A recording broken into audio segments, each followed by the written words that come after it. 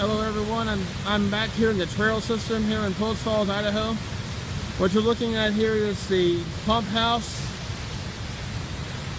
here on Avista Island. I'm back in the trail system just having a little hike here. I walked a different direction than I ever have today and I found a different way to get over here to the pump house.